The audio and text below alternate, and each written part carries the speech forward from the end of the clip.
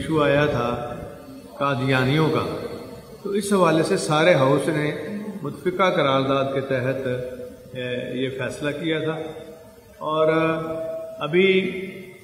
आपका काम अधूरा है। अभी साथ ही साथ ये भी बात की गई थी कि तीन किताबें ऐसी आई हैं मार्केट में,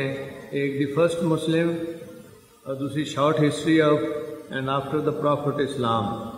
जिसमें हमारा आका करीम जनाब मोहम्मद रसूल और उम्मत की अजीम माँ हज़रत सैद आशा सदीक़ा तयबा तहरा रज़ी जिनकी पाकिजगी गवाही खुद अल्लाह ताला ने कुरान पाक में दी। उसके बाद हज़रत सैदना गनी रज़ी तला और शेर खुदा हज़रत सैद अली रज़ी के बारे में इस किताब के अंदर जो कुछ लिखा गया है, वो न सिर्फ़ काबिल मजम्मत है, काबिल अफसोस है, बल्कि तमाम आलम इस्लाम के लिए लम्हा फ़िक्रिया वाली बात है कि जो पाकिस्तान जिसका मा, जिसका वजूद ही इसलिए हुआ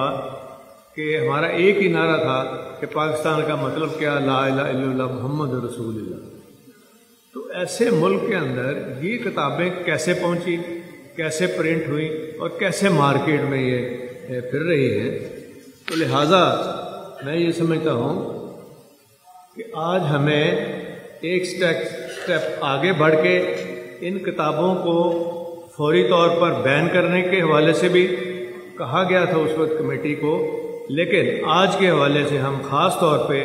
पूरा ईवान जो है ये मेरी पहले अपोजिशन से भी बात हुई है और ये मुतफिका तौर पे ये हम करारदाद लेके आए हैं।